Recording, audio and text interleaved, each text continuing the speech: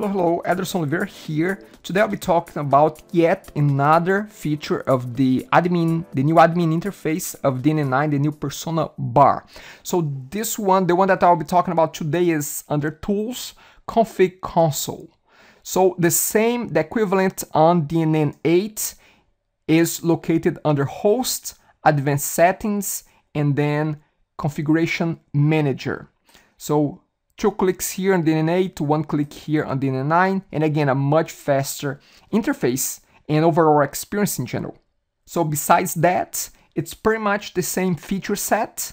You can select one of the many config files under the root folder of the website. You can select, let's say, the web config. You can make changes to it here, the same way as you could do on DNN 8 as well the you make changes, you save the changes.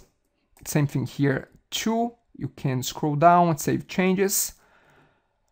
Um, there is also the tab called merge scripts, which by the way, I'm not sure what is the use of that. So I cannot really properly talk about what's going on here, but I can just say that it's the same, it's the same feature.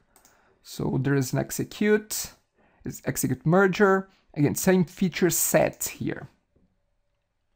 By the way, you can no longer see an admin menu nor a host menu as compared to what you see on DNN8. But the, the thing is that those features, the different options here, they'll be shown or hidden depending on your level of access. Right now, I have super user access, but if you just have admin access, I would strongly doubt that this would be available. The, the tools config console will, will not be available as we had on DNN 8, which if you are an admin, you don't see the host menu at all.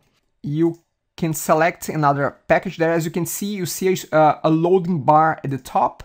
This is only indicating that the new file is, is getting loaded, but again, much faster than as compared to what we have here on the old one, which eh, on the DNN8, which again, it does a page, you know, postback. As you can see, the entire page refreshes again.